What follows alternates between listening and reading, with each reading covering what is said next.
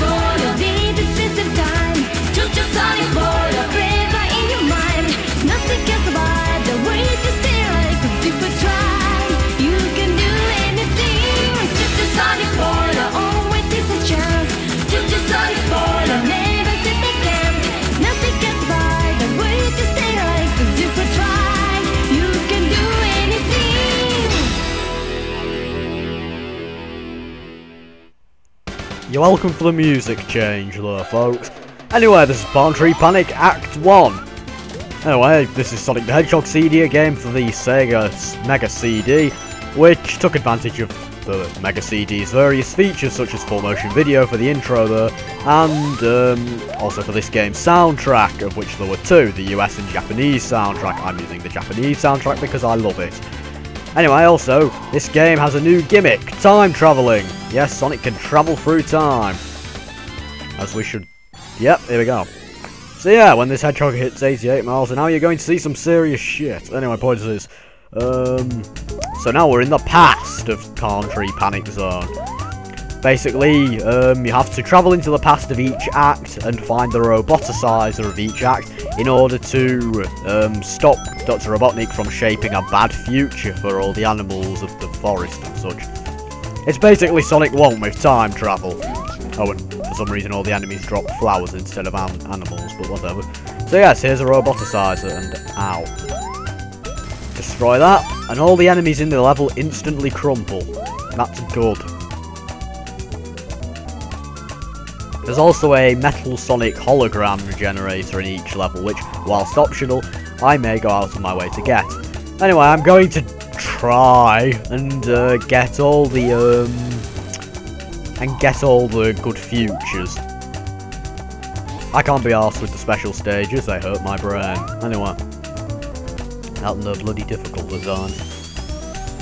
So yes, we've already attained a good future here by destroying the roboticizer and the metal sonic generator, so let's run to the end.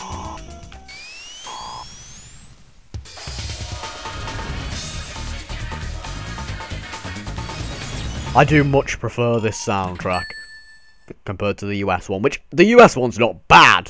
No, it's a brilliant soundtrack. Spencer Nielsen did a great job on it. It's just that, um, I know it didn't sound as Sonic-ish as this soundtrack. Okay, we've got a pass sign. There's a limited amount of these signs in each act, so you really do need to find a good place to um to time travel, which can be difficult at times, and that is where the main challenge in time traveling comes from. Right, let me see. Is this a good place to time travel? Could one. And no. Crap.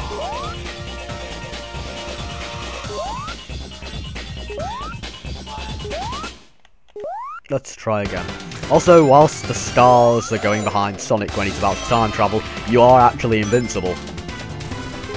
Also, I've noticed that this is a HD re-release where it takes 5 seconds to time travel, whereas in the uh, Mega CD and PC versions, I believe it was, uh, it only takes 3 seconds to time travel, so this this is a bit harder than it should be, but oh well. Okay, this should work. Hopefully. There we go. And so we time travel. It may seem slightly easy now to get to the past, but in some later levels, particularly Tidal Tempest, the water level, you'll find that getting to the past is a very, very painful ordeal at times. And I can't do multiple takes in this Let's Play because of the auto-saving that I mentioned.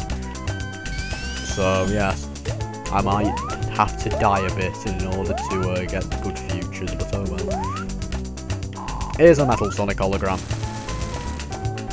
I also have to be careful of the goal of the goal signposts, uh, which point towards where the goal is, because then the screen gets locked from scrolling and I can't go back and look. Oh dear, that's not good. Right, I need to find this. There we go. So yes, we've now made a good future. That's good. So yes, Palm Tree Panic is now saved, and we can continue onwards.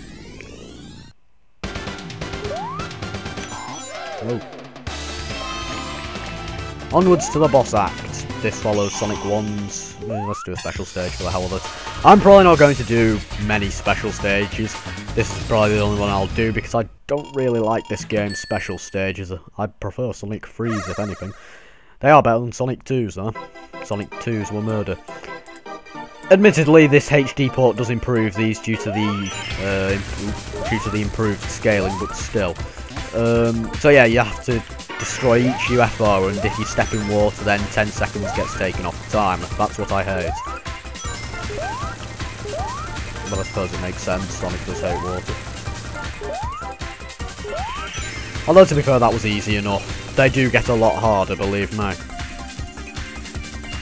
And we get a time stone. This game's Chaos Emeralds. There's still seven of them, or six, I forget. Um, and yeah, this game did come after Sonic 2 in 1993, so I'd assume there's seven time stones, but I could be wrong. So yeah, we get an extra life too, because we had 100 rings. And we get to move on to the boss act, which is now a good future. That's good to see.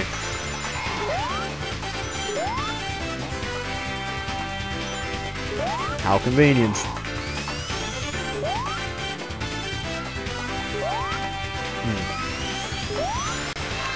Also of note, this port adds the ability to play as Tails.